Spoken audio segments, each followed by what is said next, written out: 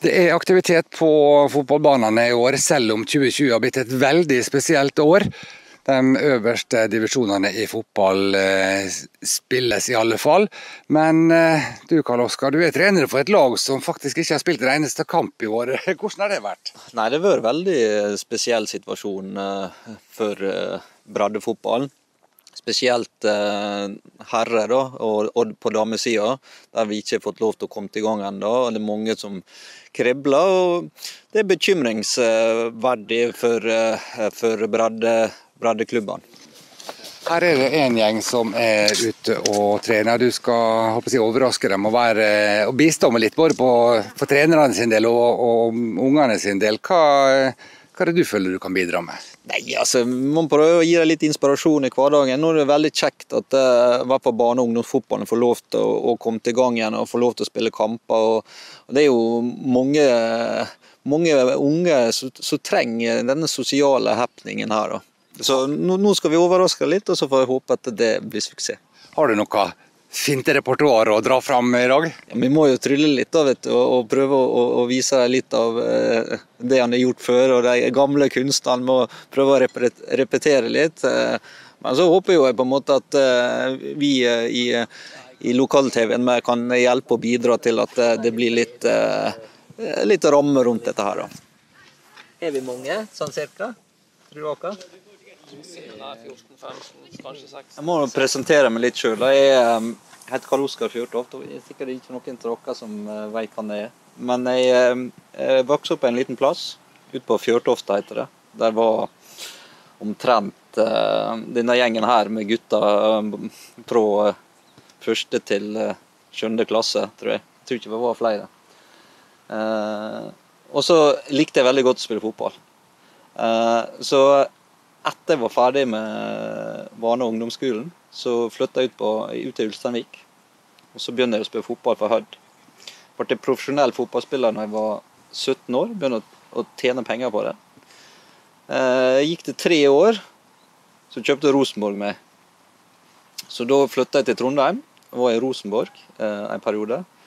Og så reiste jeg da eh, videre til Molde, der jeg var i fem år. Eh, da fikk jeg spille Champions League.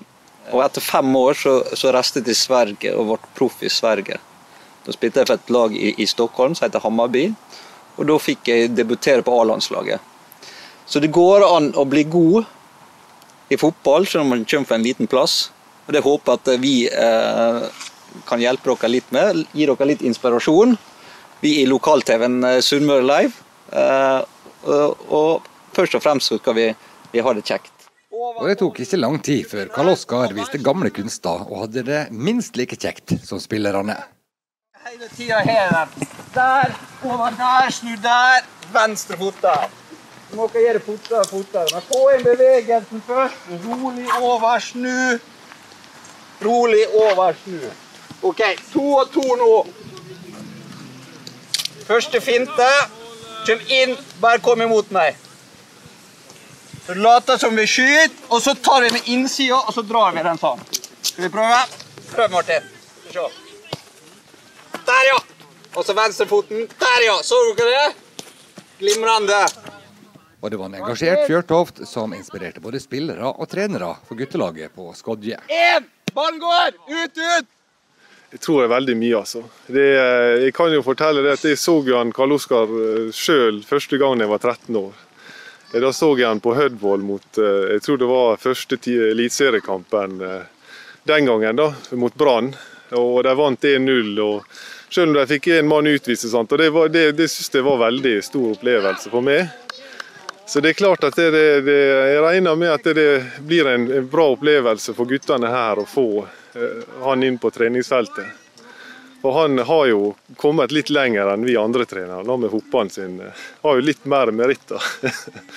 Om spillerne lot seg imponere mest av Karl Oskar sine finter på treningsfeltet, eller hva han har oppnådd som spiller, er usikkert. Stort og imponerende hva han har fått til. Mye arbeid, trening. Ja. Inspirerer dere litt, da? Ja, vi viser at han ikke må komme fra by eller sånn for å bli god. da. Um, det er jo selvfølgelig Liverpool som er det aller høyeste, men um, Eliteserien er bra det med, men selvfølgelig selvfølgelig Liverpool som er det aller største. Det blir litt opphold i ÅFK da kanskje, før det blir Liverpool. Ja, det blir sånn neste. Ja. Og mens barne- og ungdomsfotballen foreløpig er tilbake på normalt nivå, må dame- og herrefotballen håpe på ny giv til neste år. Nei, altså det er jo For, for disse damene og, og mannfolka som ikke får lov til å spille, altså, er, er jo det veldig tungt. De, de driver jo på, på med dette for de syns det er det kjekkeste de vet, og de elsker det med, med spillet. Så, så det er trist, men eh, så må jo vi vi se framover og får håpe at det åpner opp eh, over, over nyttår, så at vi, vi kan glede oss til en ny sesong.